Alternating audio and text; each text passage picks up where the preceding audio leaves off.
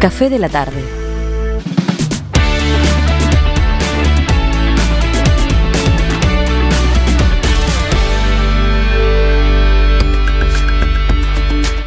Bueno, y entre varias cuestiones que sucedieron hoy allí en el Congreso, una que, realmente sorprendió fue este, la del diputado bonaerense de Cambiemos, Fabio Ketlas, que apareció con el pañuelo verde, el pañuelo verde distintivo a favor de la despenalización del aborto. Exacto, bueno, no hubo carteles, esperaban algunos carteles en el marco de la apertura de sesiones ordinarias, pero sí hubo pañuelos y sorprendió, claro, que el diputado Ketlas tuviera uno. El diputado está del otro lado en línea. Buenas tardes, ¿cómo le va? Buenas tardes, muy bien, un poquito, un día agitado porque no estoy tan acostumbrado a estos raíces mediáticos, pero, pero bien, muy bien. Bueno, usted dijo, pensé que todos iban a tenerlo. Eh, ¿Puede ser? Es así, la secuencia es así. Yo llegué sobre la hora y mm. una, una asesora mía que, que, es militante feminista y que, y que acompaña la causa con, con mucha dedicación, había quedado en esperarme en el vallado para darme el pañuelo, que por supuesto yo no tengo ese pañuelo todo el tiempo, digamos, sino que me lo daba a los efectos de generar un hecho público este, en el que supuestamente ya sea en la muñeca o en el cuello, los, los, diputados que estábamos y estamos a favor de la despenalización íbamos a, poner en evidencia de, la existencia de este grupo, que es un grupo consistente en, número.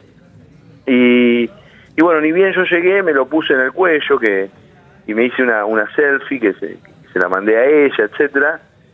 Y yo pensé, bueno, lo primero que pensé es, bueno, ahora cuando, cuando llega Macri se lo ponen ¿no? Y después llegó Macri y no se lo pusieron y me quedé yo con el panuelo puesto en el bloque y creo que Josefina Mendoza también lo tenía en su mano. Así que bueno, este probablemente una descoordinación, pero de todas maneras eh, está claro, yo hice público mi posición varios días antes, pero, Ketlas, eh, ¿cómo, le va? Eleonora Coul lo saluda. Usted, este, cuando se refiere a un grupo, este, eh, yo suponía que creía que quienes iban a tener el pañuelo verde eran aquellas personas que estaban a favor de la despenalización del aborto. no, no, sí, sí, eso queda clarísimo. Lo, lo, que no queda claro es por qué usted creyó que el presidente Macri iba a tener el pañuelo puesto.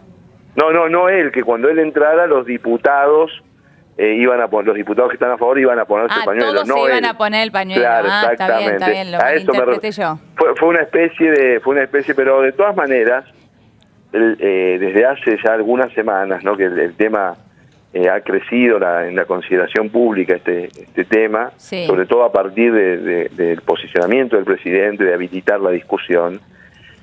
Y bueno, la discusión tiene una, una profundidad y una riqueza que como, como todos los grandes temas, ¿no? que siempre cuando, cuando un tema atraviesa la sociedad de la manera que lo hace este, lo que pone en consideración es un montón de aspectos de política educativa, sanitaria, de hasta dónde debe y no llegar el Estado, de por qué hemos llegado a este estado de cosas, etcétera. Son deliberaciones que, que de alguna manera honran a la institución parlamentaria y a la política. Ketlas, lo, lo escuchaba al, al inicio de la charla, no del todo cómodo eh, puede ser con esta situación que ha ocurrido? No, no, mire, yo estoy eh, súper contento y estoy súper... Eh, lo, que pasa, a veces esto, este, este pequeño blooper, digamos, de pensar que... Eh, de hecho, hubo otros diputados de otros bloques que aceptaron el pañuelo, ¿no? Hmm. Este, este pequeño blooper, yo también creo que es parte del anecdotario y le agrega a la, a la vida pública, digamos, ¿no? Por mi caso hubiera sido eh, realmente incómodo si yo no pensara esto. yo hace, hace, muchos años, lo que pasa es que hace muchos años yo no era diputado y por lo tanto eh, mi posicionamiento no tenía ninguna trascendencia pública, pero pero siempre estuve en este en esta posición, es una posición, sí, es una posición eh, pensada a favor de la despenalización. Ahora, ¿tuvo, algún, ¿tuvo algún comentario este, de sus compañeros de bloque? Después de que sucediera eh, esto? No, no, nosotros tuvimos una reunión inmediatamente después por un tema administrativo hmm. y, más allá de, de, alguna de algún comentario, a veces con un poco de humor o con un poco o, más o menos profundo de, los compañeros del bloque, donde hay más proximidad, no, no hubo ningún comentario así hmm. serio, digamos, ¿no? Así que no, no, no. Este, tampoco hubo, bueno, enseguida entramos en el tema de la reunión y después yo me tuve que ir, digamos, pero En general, en, nuestro bloque eh, se, respira un clima de mucha libertad deliberativa y de mucha y de mucha calidad, donde hay profesionales que saben mucho de algunos temas, otros de otros, donde hay apoyos recíprocos. Y en este caso puntual, yo quiero destacar porque porque de alguna manera es un tema al que yo me incorporo y no constituye uno de los temas de mi, de mi actividad profesional, tradicional y a lo que yo me dedico. Acá hay gente, hay mucha gente que desde hace muchos años viene interpelando al Estado, este, movilizando, realizando acciones. Es un colectivo transversal de distintas fuerzas políticas.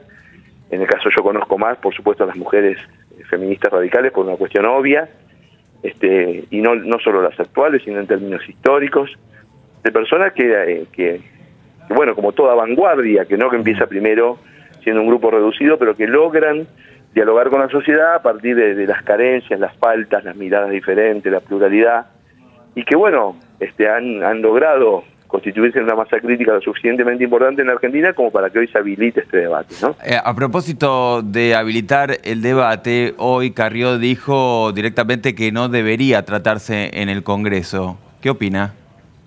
Bueno, yo creo que en el Congreso todos nos tenemos que expresar, de, yo soy muy respetuoso de las personas que están contra el aborto por razones religiosas y, y de verdad que me parece que es, imposible de sostener reproche alguno, digamos, una deliberación que tiene que tener un límite, porque personas de bien y con, una mirada de grandeza, etcétera, pueden estar perfectamente en contra y otras pueden estar perfectamente a favor, acá hay juego, está en juego cosas muy delicadas en términos de de la constitución, de la visión del mundo, de la cosmovisión de cada una de las personas.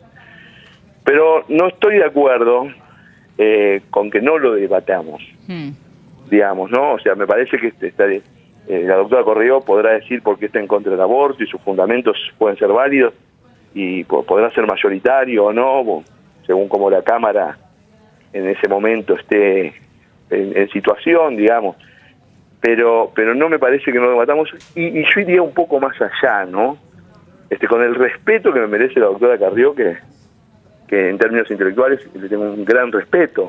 Eh, yo creo que las instituciones de la democracia este, no, no deberían someterse a ningún tipo de tutelaje respecto de lo que debaten o no debaten en relación a problemas públicos, mm. ¿no? Sí. O sea, cuando, cuando uno va a un país y la autoridad religiosa dice qué cosas o no pueden ser objeto de tratamiento público, a mí me fastidia eso, me parece que, digamos, atenta contra una de las bases de la modernidad. Lo que probablemente, y, nos pondremos de acuerdo seguramente con la doctora Correo, es que es cómo calificamos este debate. O sea, cómo, cómo este debate hace que eh, sea considerado un debate histórico por el Parlamento argentino por la calidad de los argumentos, por los datos que se han puesto en juego, este, por las alternativas. Eso sí, tenemos que hacer un esfuerzo para que, ese debate sea eh, brillante y que la gente que lo mire por la televisión esté orgullosa de todos los diputados y de todos los senadores que discutan con altura, con consideración y con criterio. Ahora, eh, privarnos de la idea, porque los cientos de miles de jóvenes que se movilizan en los días de la mujer, etcétera, son parte de este país plural y diverso y que no podemos eh, ignorar esta demanda mm. de, consideración. Clarísimo, diputado Ketlas, muchísimas gracias eh, por este tiempo, esta comunicación.